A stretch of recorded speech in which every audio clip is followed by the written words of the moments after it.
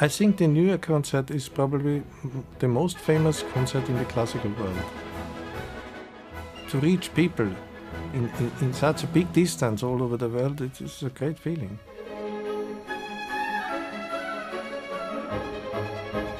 The Golden Hall has a wonderful round uh, sound, acoustic wise, and of course, uh, the, the hall looks so great. You have the feeling you, you, your sound is flying.